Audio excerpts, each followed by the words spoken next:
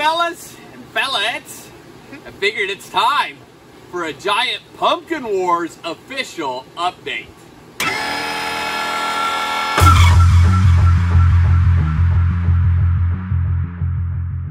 So, a reminder of the rules. There's four of us. Team Scott, Team Jeff, Team Doc, and your very own Team Jake. You have to choose one of us before June 30th. That's the first thing. Then, when you're on a team, you're automatically entered into a, our contest. And our contest is going to happen on the day 30th measurements, the day 50th measurements, and the day 70th measurements. Whoever has the largest pumpkin on the day 30, day 50, and day 70, and if you chose their team, you're going to win some seeds out of our pumpkins.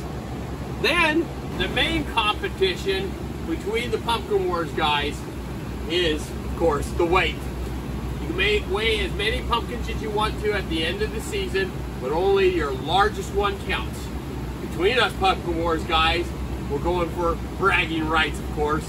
And then we're also 3D printing a trophy, right, Kade? Yep. It's going to be pretty epic, isn't it? Oh, yeah. All right, so get out there, choose Team Jake or Team whatever their faces are, but make sure you choose it before June 30th. It's going to be epic. See you guys.